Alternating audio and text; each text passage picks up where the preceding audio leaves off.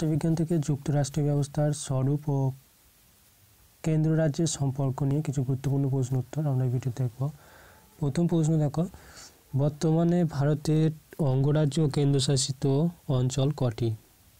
এখানে অ্যান্সারে দেওয়া আছে, আঠাশটি অঙ্গরাজ্য এবং ষাটটি কেন্দ্রশাসিত অঞ্চল, কিন্তু বর্তমানে ভারতে উনত্রিশটি অঙ্গরাজ্য আছে এবং ষাটটি কেন্দ্রশাসিত অঞ্চল রয়েছে। নেক্সট প্রশ্ন হচ্ছে, ভারতের সংবিধান অনুযায়ী কি তালিকার মাধ্যমে কেন্দ্র রাজ্য ক্ষমতা বন্টন করা হয়েছে।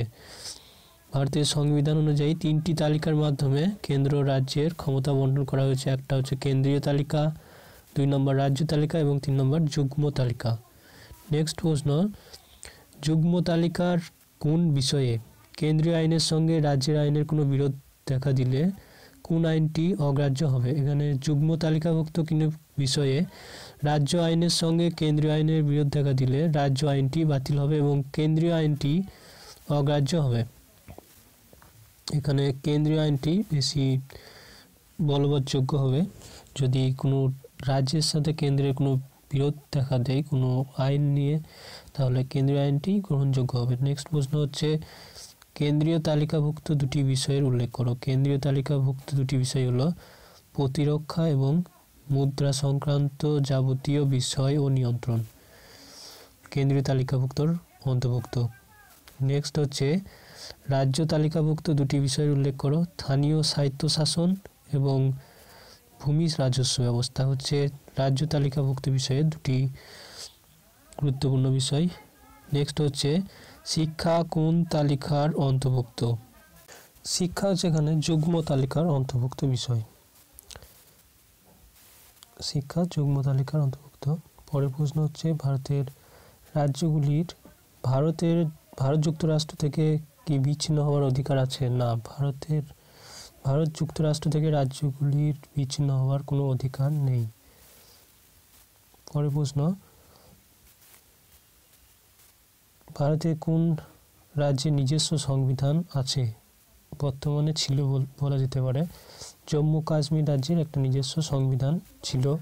পরের প্রশ্ন পরের প্রশ্ন ভারতের ভারতকে যুক্তরাষ্ট্রীয় বৈশিষ্ট্যযুক্ত এক কেন্দ্রিক রাষ্ট্র হিসাবে বর্ণনা কে করেছেন? যুক্তরাষ্ট্রীয় বৈশিষ্ট্যযুক্ত এক কেন্দ্রিক রাষ্ট্র হিসাবে বর্ণনা করেছেন কে কেসি হোয়ের।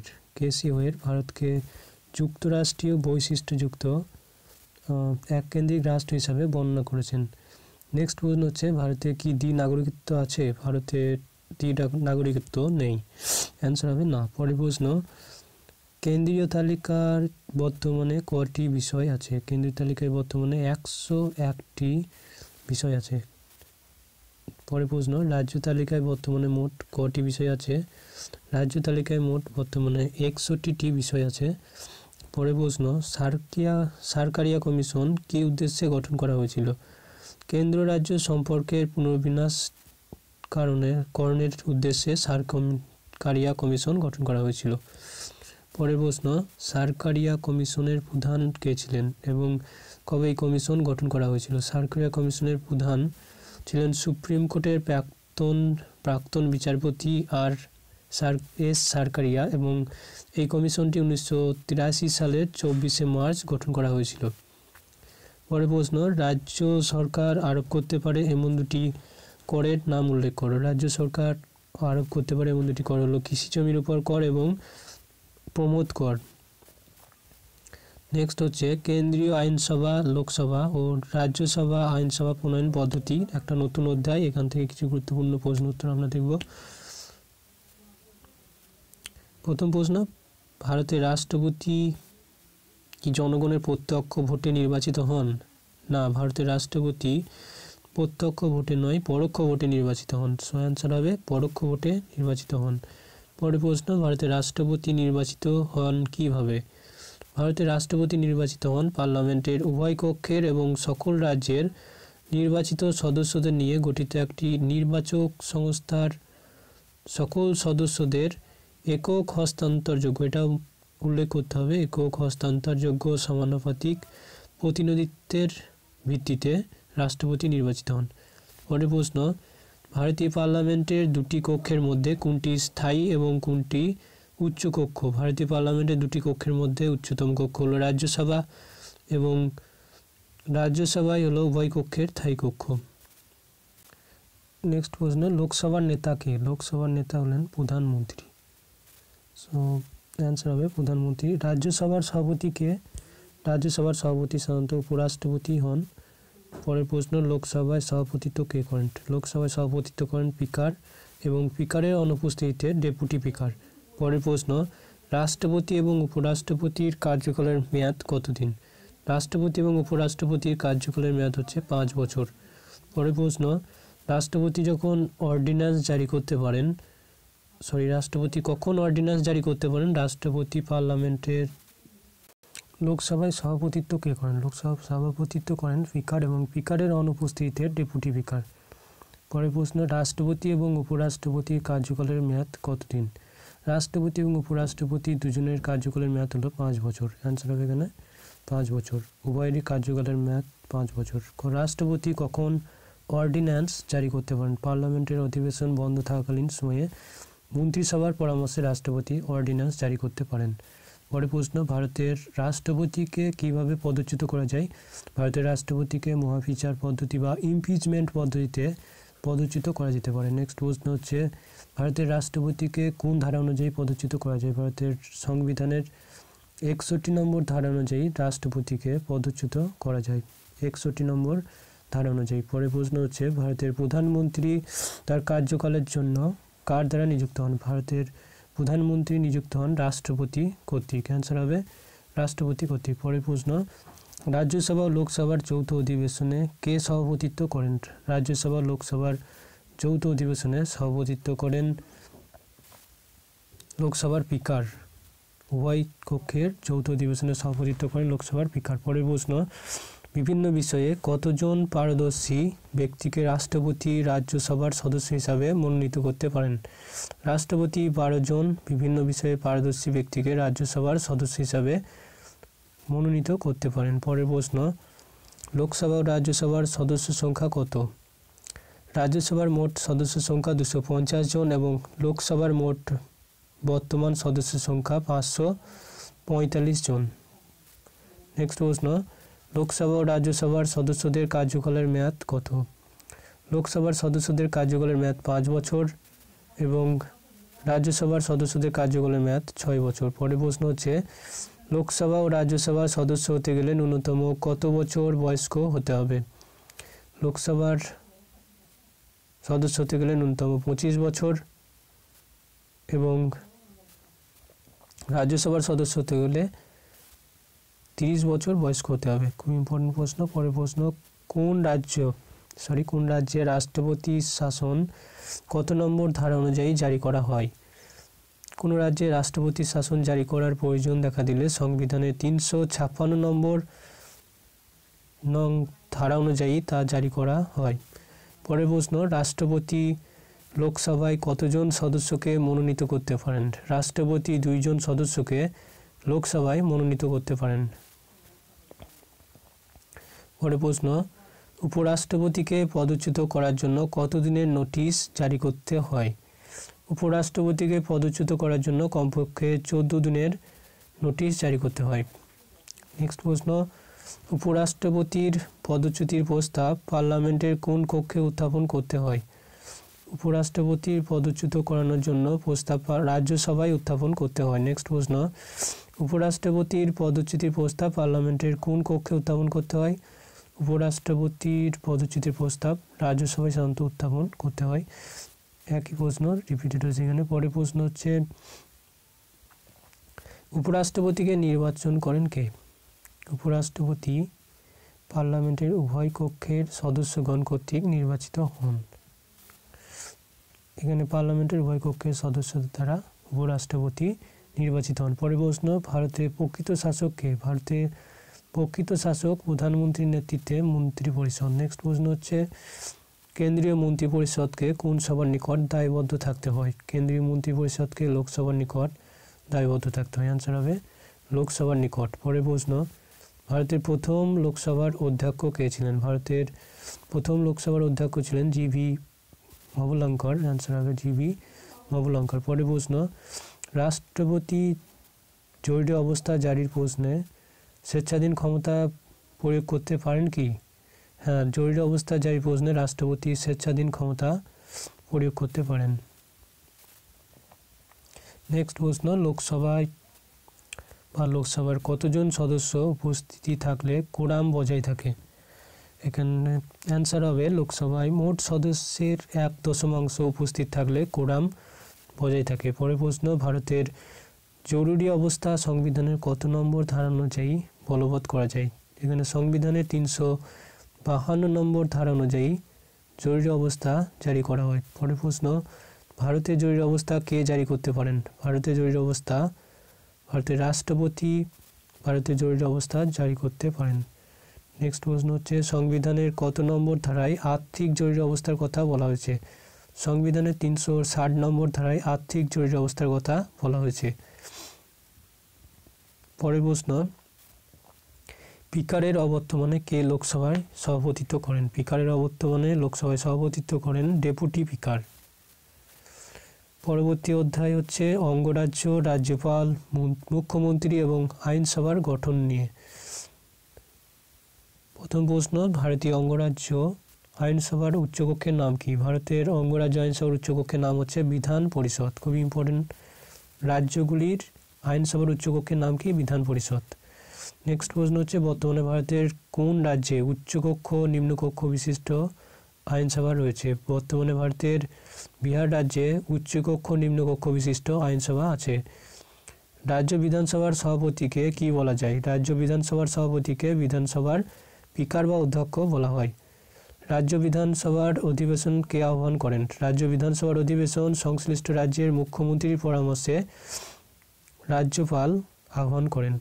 রাজ্যের বিধানসভাকে আহ্বান করেন শান্ত রাজ্যপাল। পরের প্রশ্ন, রাজ্যের শাসন ক্ষমতার প্রধানকে সংবিধানের একশো চুয়ান্ন নম্বর ধারা অনুযায়ী রাজ্যের শাসন ক্ষমতার প্রধান হলেন রাজ্যপাল। নেক্সট প্রশ্ন, রাজ্যের মন্ত্রিসভার কার কাছে দায়বদ্ধ? রাজ্যের মন্ত্রিসভা যৌথভাবে বিধানসভার কাছে দায়বদ্ধ থাকে। পরে প্রশ্ন, রাজ্যপালকে নিয়োগ করেন কে? রাজ্যপালকে রাষ্ট্রপতি নিয়োগ করেন। অ্যান্সার হবে রাষ্ট্রপতি। পরের প্রশ্ন, রাজ্যের মুখ্যমন্ত্রীকে কে নিয়োগ করেন?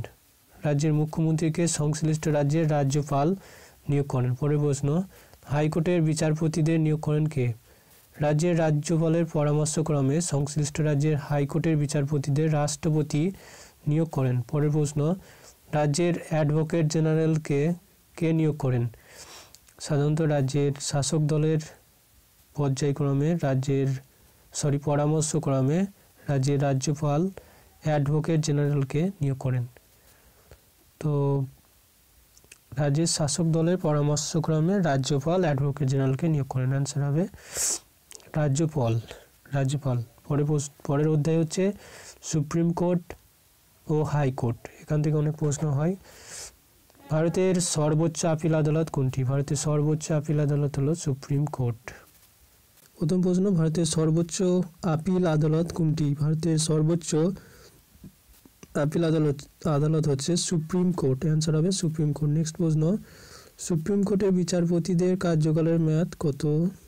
সুপ্রিম কোর্টের বিচারপতিদের কার্যকালের মেয়াদ হচ্ছে পঁয়ষট্টি বছর পর্যন্ত। পরের প্রশ্ন, সুপ্রিম কোর্টের বিচারপতিদের কে নিয়োগ করেন এবং প্রয়োজনে কে পদচ্যুত করতে পারেন? সুপ্রিম কোর্টের বিচারপতিদের নিয়োগ করেন রাষ্ট্রপতি এবং প্রয়োজন হলে বিচারপতিকে পদচ্যুত করতে পারেন রাষ্ট্রপতি। পরের প্রশ্ন হচ্ছে, সুপ্রিম কোর্টের পরামর্শ কি রাষ্ট্রপতি মেনে চলতে বাধ্য? না, সুপ্রিম কোর্টের পরামর্শ রাষ্ট্রপতি মেনে চলতে বাধ্য নয়। নেক্সট হচ্ছে, কতজন বিচারপতি নিয়ে সুপ্রিম কোর্ট গঠিত? বর্তমানে একজন প্রধান বিচারপতি এবং পঁচিশ জন বিচারপতি নিয়ে সুপ্রিম কোর্ট গঠিত হয়। হাইকোর্টের বিচারপতিদের কার্যকালের মেয়াদ কত বছর বয়স পর্যন্ত? হাইকোর্টের বিচারপতিদের কার্যকালের মেয়াদ হচ্ছে বাষট্টি বছর পর্যন্ত। পরের প্রশ্ন,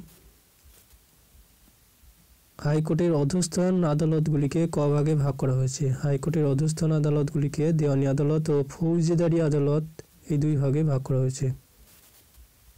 পরবর্তী অধ্যায়, সংবিধান সংশোধন। ভারতের সংবিধান সুপরিবর্তনীয় না দুষ্পরিবর্তনীয়? ভারতীয় সংবিধান হচ্ছে দুইয়েরই সংমিশ্রণ, সুপরিবর্তনীয় ও দুষ্পরিবর্তনীয় সংমিশ্রণ। নেক্সট প্রশ্ন, নির্বাচন কমিশনের সদস্যগণকে কে নিযুক্ত করেন? নির্বাচন কমিশনের সদস্যগণকে রাষ্ট্রপতি নিযুক্ত করেন। পরের প্রশ্ন, সংবিধানের কোন অংশে পার্লামেন্টের পরিবর্তন করতে পারেন না? সংবিধানের কোন অংশ? এখানে সংবিধানের মৌলিক কাঠামো পার্লামেন্ট পরিবর্তন করতে পারে না। পরের প্রশ্ন, ভারতের রাজনৈতিক দল, ভারতের দলীয় ব্যবস্থা যে কোনো দুটি বৈশিষ্ট্য উল্লেখ করো। পরবর্তী অধ্যায় হচ্ছে ভারতের রাজনৈতিক দল। তো প্রথম প্রশ্ন, ভারতের দলীয় ব্যবস্থার যে কোনো দুটি বৈশিষ্ট্য উল্লেখ করো। এক নম্বর বৈশিষ্ট্য হলো বহুদলীয় ব্যবস্থা, দুই নম্বর হলো বর্তমানকালে জোটবদ্ধ হয়ে নির্বাচন প্রতিদ্বন্দ্বিতা করা। পরে প্রশ্ন, ভারতের দুটি জাতীয় দলের নাম উল্লেখ করো। ভারতের দুটি জাতীয় দল হচ্ছে ভারতের জাতীয় কংগ্রেস ও ভারতীয় কমিউনিস্ট পার্টি। নেক্সট হচ্ছে ভারতের কমিউনিস্ট পার্টি ভাগ হয় কোন সালে? ভারতের কমিউনিস্ট পার্টি ভাগ হয় উনিশশো চৌষট্টি সালে। পরের প্রশ্ন, পশ্চিমবঙ্গে শাসক বামফ্রন্ট একটি রাজনৈতিক দল না রাজনৈতিক রাজনৈতিক জোট। পশ্চিমবঙ্গের শাসক বামফ্রন্ট একটি রাজনৈতিক জোট। পরের প্রশ্ন, সিপিআইএম দলটি কি একটি একটি জাতীয় দল না আঞ্চলিক দল? সিপিআইএম একটি জাতীয় দল। ফরওয়ার্ড ব্লক দলটি কে গঠন করেছিলেন? ফরওয়ার্ড ব্লক দলটি গঠন করেছিলেন নেতাজি সুভাষচন্দ্র বসু। পরে প্রশ্ন, ভারতের দুটি ধর্মভিত্তিক দলের নাম উল্লেখ করো। ভারতের দুটি ধর্মভিত্তিক দল হলো মুসলিম লীগ এবং আকালি দল। পরে প্রশ্ন, ভারতের দুটি ভাষাভিত্তিক দলের নাম লেখো। ভারতের দুটি ভাষাভিত্তিক দল হলো ডিএমকে এবং আইডিএমকে নেক্সট হচ্ছে ইউপিএ কথাটির পুরো অর্থ কী? এবং এর রাজ, এটি কি একটি রাজনৈতিক দল? ইউনাইটেড প্রোগ্রেসিভ অ্যালায়েন্স এটি একটি রাজনৈতিক গোষ্ঠী বা জোট? পরে প্রশ্ন, ভারতের দুটি আঞ্চলিক দলের নাম লেখো। ভারতের দুটি আঞ্চলিক দল হচ্ছে তৃণমূল কংগ্রেস এবং তেলুগু দেশম। পরবর্তী অধ্যায় হচ্ছে নির্বাচন কমিশন ও নির্বাচন ব্যবস্থা। প্রথম প্রশ্ন, ভারতের বর্তমানে কয়জন নির্বাচন কমিশনার আছে ভারতের বর্তমানে তিনজন নির্বাচন কমিশনার আছেন। পরে প্রশ্ন, সংবিধানের কত নম্বর ধারায় নির্বাচন কমিশনার গঠনের কথা বলা হয়েছে? সংবিধানের তিনশো চব্বিশ ও দুই নম্বর ধারায় নির্বাচন কমিশন গঠনের কথা বলা হয়েছে। পরে প্রশ্ন, ভারতের সমস্ত প্রাপ্তবয়স্ক নাগরিকদের ভোটার অধিকার কি সংবিধানে স্বীকৃত? হ্যাঁ ভারতের সকল প্রাপ্তবয়স্ক নাগরিকদের ভোটার অধিকার সংবিধানের তিনশো ছাব্বিশ নম্বর ধারা অনুযায়ী শিক্ষিত। নেক্সট হচ্ছে, মুখ্য নির্বাচন কমিশনার বা অন্য কোন নির্বাচন কমিশনারকে কি অপসারণ করা যায়? হ্যাঁ পার্লামেন্টের অনুমোদন ক্রমে রাষ্ট্রপতি, মুখ্য নির্বাচন কমিশনার বা অন্য কোনো নির্বাচন কমিশনারকে অপসারণ করতে পারেন। পরের প্রশ্ন হচ্ছে, নির্বাচন কমিশনার এর কার্যকালের মেয়াদ কত? নির্বাচন কমিশনের কার্যকালের মেয়াদ হচ্ছে ছয় বছর। নেক্সট প্রশ্ন, প্রাচীন সরি প্রধান নির্বাচন কমিশনার বা নির্বাচন কমিশনের অন্যান্য সদস্যগণকে কে নিযুক্ত করেন? প্রধান নির্বাচন কমিশনার বা অন্যান্য নির্বাচন কোনো নির্বাচন কমিশনারকে নিযুক্ত করেন রাষ্ট্রপতি? পরের প্রশ্ন হচ্ছে, ভারতের রাজনীতিতে জাতপাত নিয়ে একটা নতুন অধ্যায় এখানে শুরু হচ্ছে। তো প্রথম প্রশ্ন হচ্ছে, কাস্ট ইন ইন্ডিয়ান পলিটিক্স গ্রন্থটি কে রচনা করেছেন? কাস্ট ইন ইন্ডিয়ান পলিটিক্স গ্রন্থটি রচনা করেছেন রজনী কোঠারি। খুব ইম্পর্টেন্ট রজনী কোঠারি নেক্সট প্রশ্ন কাস্ট অফ মডার্ন ইন্ডিয়া প্রথমটা ছিল কাস্ট ইন ইন্ডিয়ান পলিটিক্স তারপরে কাস্ট অফ মডার্ন ইন্ডিয়া গ্রন্থটির লেখক হচ্ছেন এম এন শ্রীনিবাস পরে প্রশ্ন, ভারতে কয়টি সাম্প্রদায়িক দলের নাম? শিবসেনা, মুসলিম লীগ এবং বজরং দল, সাম্প্রদায়িক দল। পরে প্রশ্ন হচ্ছে, সংবিধানের প্রদত্ত ধর্মনিরপেক্ষ শব্দটির এক এক বাক্যে অর্থ লেখো। যে মানসিকতা কোনো বিশেষ ধর্মকে সমর্থন করে না বা বিরোধিতা করে না, তাকেই ধর্ম নিরপেক্ষতা বলে। নারী আন্দোলন ও রাজনীতি, মহিলাদের জন্য ভোটার ভোটাধিকারের দাবি প্রথম কোথায় শুরু হয়? মহিলাদের জন্য ভোটাধিকারের দাবি আঠেরোশো একষট্টি সালে মার্কিন যুক্তরাষ্ট্রে প্রথম শুরু হয়েছিল। নেক্সট প্রশ্ন, পুরুষদের মতো মহিলাদের সমান ভোটার অধিকার প্রথম কোথায় ঘোষিত হয়? সোভিয়েত ইউনিয়নের সমাজতান্ত্রিক বিপ্লবের পর উনিশশো সতেরো খ্রিস্টাব্দের রাশিয়ার সংবিধান, সংবিধানে প্রথম নারীদের ও পুরুষের মতো সমান ভোটার অধিকার স্বীকৃত হয়। তো রাশিয়ার সংবিধানে উনিশশো সতেরো সালে প্রথম নারীদের ভোটার অধিকার স্বীকৃতি দেওয়া হয়। পরে প্রশ্ন, আন্তর্জাতিক নারী দিবস বছর কোন দিন পালন করা হয়? প্রতি বছর আটই মার্চ আন্তর্জাতিক নারী দিবস হিসাবে পালন করা হয়, আটই মার্চ। নেক্সট হচ্ছে, ভারতের জাতীয় কংগ্রেস প্রথম মহিলা সভানেত্রী কে এবং কবে নির্বাচিত হয়েছিলেন? উনিশশো সতেরো খ্রিস্টাব্দে ভারতের জাতীয় কংগ্রেস মহিলা হিসাবে প্রথম সভানেত্রী হিসাবে নির্বাচিত হন অ্যানি বেসান্ত। পরের প্রশ্ন, সম্মিলিত জাতিপুঞ্জ কোন বছর এবং কোন দশককে যথাক্রমে আন্তর্জাতিক নারীবর্ষ ও আন্তর্জাতিক নারী দশক হিসাবে ঘোষণা করেছিল। সম্মিলিত জাতিপুঞ্জ উনিশশো পঁচাত্তর খ্রিস্টাব্দকে আন্তর্জাতিক নারীবর্ষ এবং আন্তর্জাতিক এবং উনিশশো ছিয়াত্তর থেকে উনিশশো ছিয়াশি দশককে আন্তর্জাতিক নারী দশক হিসাবে ঘোষণা করেন। So thank you watching this video